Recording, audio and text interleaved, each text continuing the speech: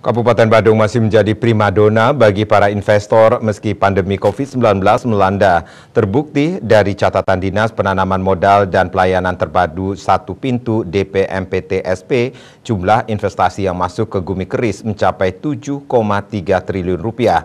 Bahkan angka ini melebihi target yang ditetapkan Provinsi Bali 5,2 triliun rupiah.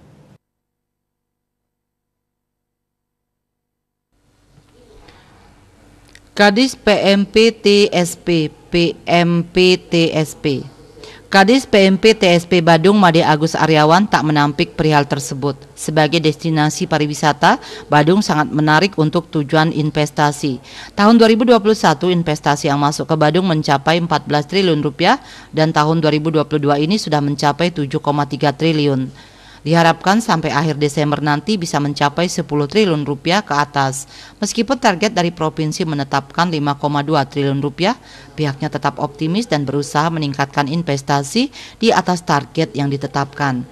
Agus Aryawan optimis investasi yang masuk ke Kabupaten Badung akan berdampak positif terhadap perekonomian daerah. Selain itu juga membuka lapangan kerja.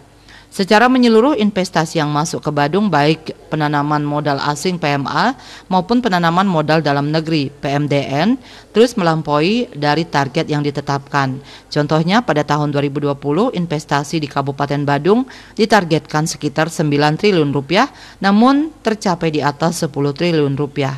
Demikian pula di 2021 target 10 triliun rupiah lebih terrealisasi di akhir 2021 mencapai 14 triliun rupiah. Parwato Bali Pos melaporkan.